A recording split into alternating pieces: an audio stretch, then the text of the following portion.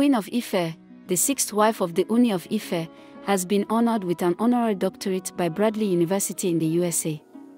The prestigious award in science, humanities, recognizes her unwavering dedication to humanity, particularly her efforts to combat poverty and create a better world.